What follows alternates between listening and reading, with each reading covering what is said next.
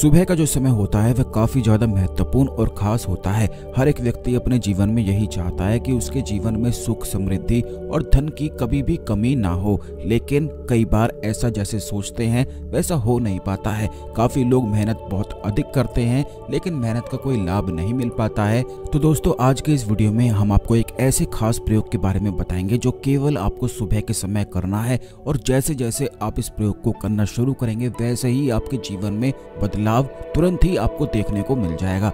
यानी कि जिस दिन से भी करना शुरू करेंगे उसके अगले दिन से ही किस्मत बलवान बननी बिल्कुल शुरू हो जाती है। तो ध्यान से इस वीडियो को देखकर सभी बातों को आपको बिल्कुल ध्यान से समझना है कि इस क्रिया को करना किस प्रकार है, लेकिन उससे पहले भगवान शिव को नमस्कार अवश्य कर लें। वीडियो को लाइक करके कमेंट बॉक्स में ओम नमः शिवाय लिखकर, जिससे भगवान शिव की कृपा आप पर हमेशा बनी रहे। तो दोस्तों, आपको बता दें कि जो सुबह का जो समय होता है, उस समय काफ़ी लोग एक गलती को ये करते हैं कि जिस समय उनकी आँखें खुल जाती हैं उसी समय वो केवल बेड पर ही बैठे रहते हैं, यानी कि बेड पर ही लेटे रहते हैं और कुछ ना कुछ सोचते ही रहते हैं। खास करके जिन लोगों के जीवन में दुख होता है तो उन लोगों को ये आदत बहुत ही ज़्यादा अधिक होती है। काफ़ी लोग इन्हीं चीज़ों के बारे में नहीं जानते हैं, इसीलिए उनके जीवन में बदलाव नहीं आता है। आपको बता दें कि सुबह ही वो समय होता है जिस समय से आप अपने जीवन को बदल सकते हैं। अगर आप अपनी सुबह को नहीं बदल सकते हैं तो फिर जीवन भी बदलना बहुत ही ज़्यादा अधिक मुश्किल हो जाता है। इसलिए सुबह में बदलाव करना बेहद आवश्यक है। इसीलिए आपको हमेशा ये ध्यान रखना चाहिए कि जब भी आप सुबह उठते हैं तो कोई भी कार्य आप करते हैं, वो तो कोई भी कार्य आप कर सकते हैं, लेकिन जैसे ही आपकी आँखें खुलती हैं, आँखें खुलते ही आपको बिल्कुल बेड से नीचे उतर जाना है।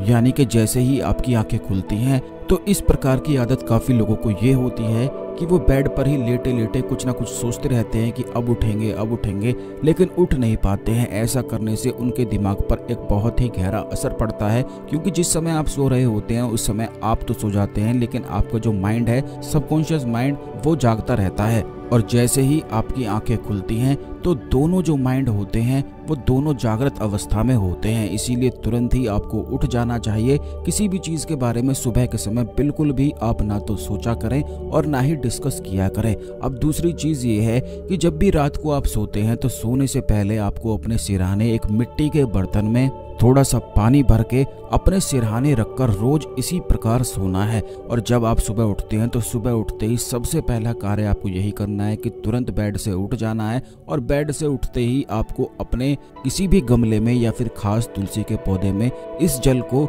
चढ़ा देना है। बिना नहाए, बिना कुछ करे ही इस प्रयोग को सर्वप्रथम आपको सबसे पहले करना है। अब इस बात का भी ध्यान रखना है कि जैसे जैसे आप इस पौधे में जल चढ़ाते जाएँगे तो उस पौधे का भी आपको ध्यान रखना है।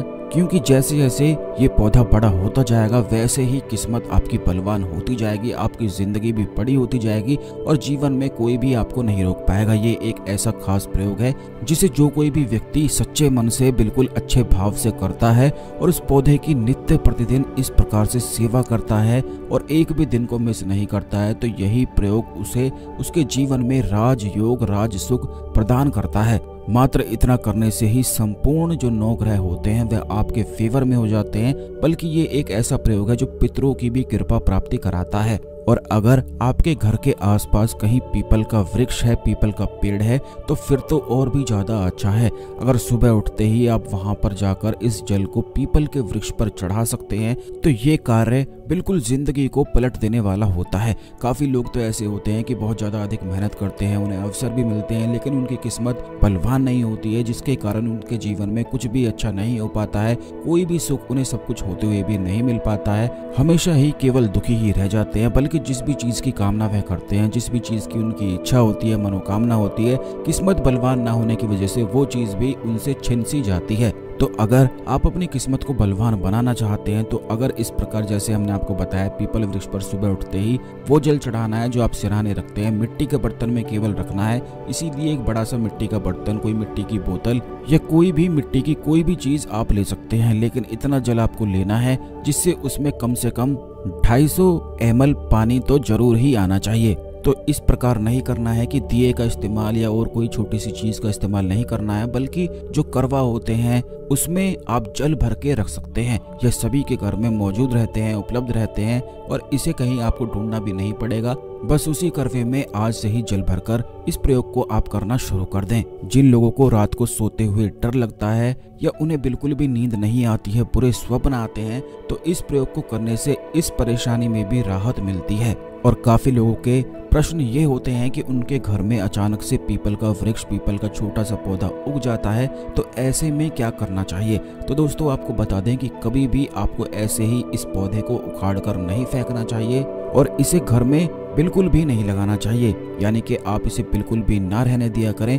आप इस बात का ध्यान रखा करें कि किसी भी सोमवार के दिन या फिर गुरुवार के दिन इस छोटे से पौधे को सावधानी पूर्वक बिल्कुल निकाल कर कहीं भी सुनसान जगह में या फिर कहीं भी पार्क में जाकर आपको इसे दोबारा लगा देना चाहिए। इस प्रकार अगर आप करते हैं तो कोई भी किसी भी प्रकार का दोष नहीं लगता है। इस खास जानकारी को अन्य लोगों के साथ भी अवश्य शेयर करें, जिससे सभी लोग इस जानकारी का लाभ उठा सकें। तो दोस्तों, आज के लिए केवल इतना ही। मिलते हैं अगले वीडियो में। ओम नमः शिवाय, हर हर महादेव।